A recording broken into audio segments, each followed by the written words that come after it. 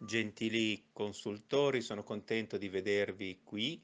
riuniti anche questa volta, sempre più numerosi. Come sapete, a marzo dell'anno scorso è stata pubblicata la 33esima edizione dell'Annuario della Nobiltà Italiana, che inizialmente era prevista in un volume di 2000 pagine, nel consueto grande formato, ed è cresciuta invece in meno di due anni sino a raggiungere due volumi, per circa 6300 pagine e tavole a colori. Tutto ciò senza aumentare di un centesimo il costo per i sottoscrittori, senza richiedere contributi economici per l'inserimento di dati o notizie, senza vincolare l'acquisto dei volumi per gli aggiornamenti trascritti e pubblicati e trattandosi di opera scientifica, senza inserire nei volumi pagine pubblicitarie o simili, rinunciando volutamente così ad un'abbondante fonte di denaro, volendo mantenere la pubblicazione assolutamente di alto livello indipendente.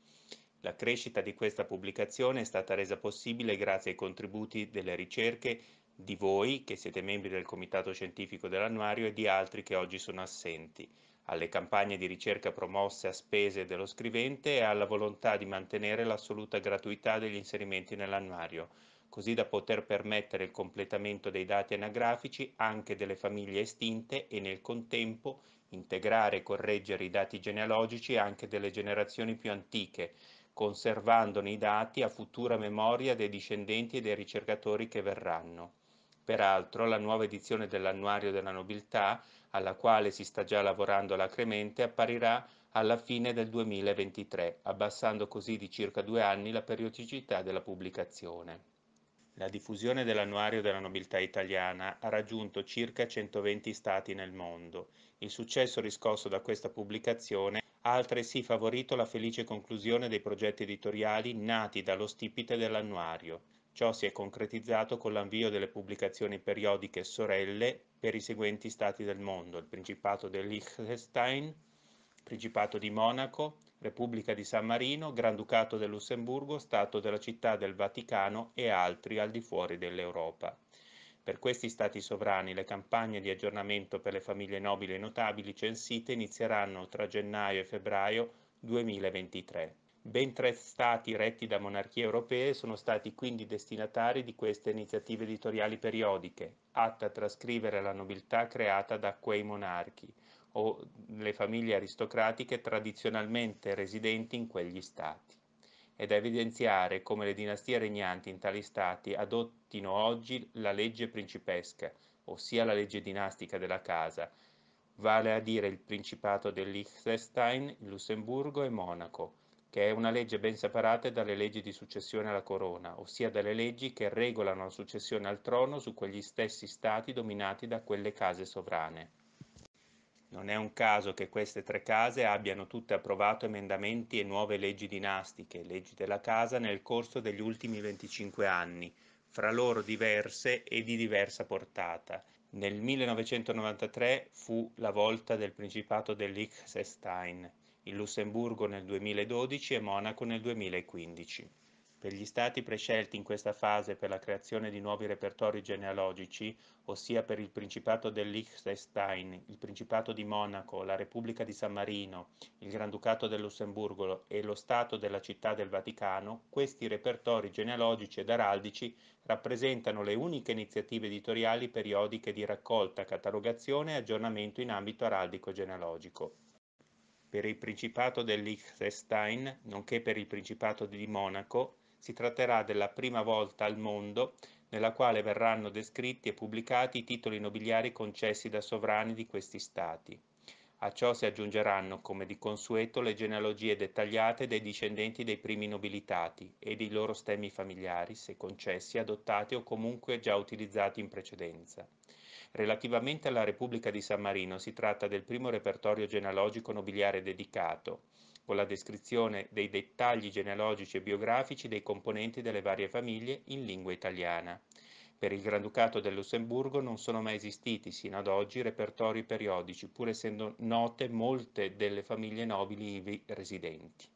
Sui titoli concessi dai sommi pontefici dopo la presa di Roma, 1870, se si eccettuano le schede genealogico-araldiche pubblicate nella parte terza pontificia dell'Annuario della Nobiltà Italiana, seconda serie, dal 2000, mai esistessero repertori genealogici periodici ad essi dedicati corredati da una puntuale descrizione araldica e dei titoli delle famiglie descritte. Altra importante iniziativa editoriale, forse la più importante tra quelle descritte, è quella del nuovo periodico sui titolati del Regno Unito, che rappresenta quanto di più completo e vasto mai realizzato sul tema, anche prendendo in considerazione le iniziative editoriali che affondano le loro radici nel XVII secolo. Essa è stata originata non per mio merito, ma per la tenacia di un consultore dell'annuario della nobiltà italiana, Mario Gregorio, che oggi verrà decorato, benché sia assente, della medaglia d'oro con menzione di benemerenza, a dimostrazione che l'esempio, buone idee e costanza possono fare moltissimo. Tutte queste iniziative editoriali verranno illustrate con apposite schede pubblicate sui social e nell'annuario della nobiltà italiana nel corso dei prossimi mesi. Essi rappresentano un passaggio fondamentale nella vita di questa casa editrice dell'annuario che ha dimostrato come, anche in momenti drammatici come quello che viviamo, ingegno, forza di volontà e capacità possono portare a grandi risultati. Altro progetto molto importante è quello relativo al censimento genealogico ed araldico delle case reali nel mondo, sia quelle sovrane sia quelle deposte, dal 1800 ai nostri giorni.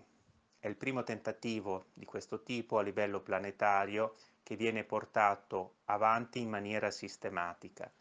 La parte più interessante è proprio il primo volume che è dedicato allo studio delle leggi dinastiche ed è un'introduzione al diritto dinastico universale. È stata fatta una ricerca durata più di vent'anni nel tentativo di appurare l'esistenza di leggi dinastiche separate da quelle della successione al trono dei singoli stati, sia per quanto riguarda le famiglie reali regnanti, sia per quelle deposte, gli eventuali mutamenti, le applicazioni e così via. È la prima volta nella storia dell'umanità che si tenta di dar vita a un repertorio genealogico che descriva le case reali da un punto di vista successoriale, prendendo però in considerazione le loro leggi dinastiche e applicandole. Prima di questo tentativo le genealogie venivano pubblicate sulla base dei dati forniti dalle famiglie interessate o peggio ancora desunti da fonti secondarie. Per cui c'era il problema pratico che finché le famiglie erano regnanti più o meno si veniva a conoscenza dell'organizzazione interna di queste leggi dinastiche, mentre per le famiglie deposte c'era il totale buio. Un caso per tutti sono gli Asburgo, le cui leggi dinastiche interne della famiglia sono divenute note solo successivamente, almeno in gran parte, alla caduta del loro regno e sono state descritte per la prima volta in assoluto, anche considerando gli stati eh, legati alla casa, proprio nella precedente edizione dell'annuario 2015-2020 in un trattato di 336 pagine che è il frutto di oltre 5 anni di ricerche. Non era mai stato fatto niente del genere, proprio per la complessità dell'argomento. Vi ringrazio moltissimo per essere intervenuti e Ora eh, arriverà la torta e poi andremo alla Basilica di Sant'Eustorgio per il conferimento delle medaglie dei benemerenti dell'annuario davanti all'Arca dei Magi, così come era stato previsto. Grazie a tutti.